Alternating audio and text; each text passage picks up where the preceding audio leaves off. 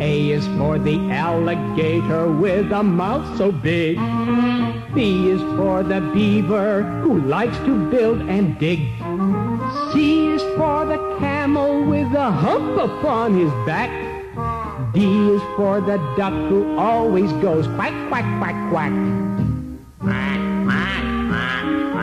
E is for the elephant, the biggest one is he. F is for the fox, he's just as smart as he can be. G is for giraffe with a neck that's oh so long. H for hippopotamus, so big and fat and strong. I is for the ibex, he's a cousin to the goat. J is for the jaguar with spots upon his coat.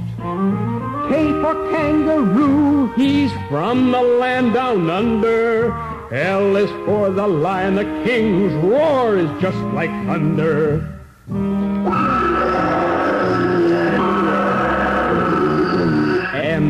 For the monkey, he's the cutest little thing. N is for the nightingale who always likes to sing. O is for the ostrich, he hides his head in the sand. P is for the pelican, his bill holds more than his belly for the quail who has a little bitty tail. R is for the rabbit, he's swifter than a gale. S is for the skunk, to tease him is to bungle. T is for the tiger, he's the terror of the jungle.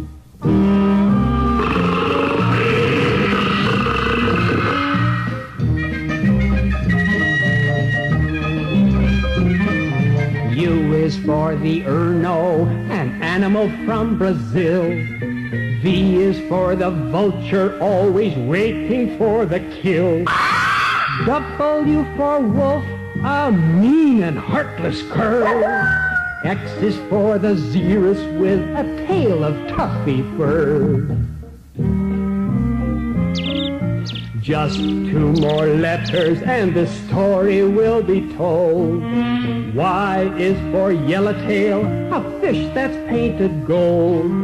Just one more letter, then class will be dismissed. Z is for the zebra, the last one on the list.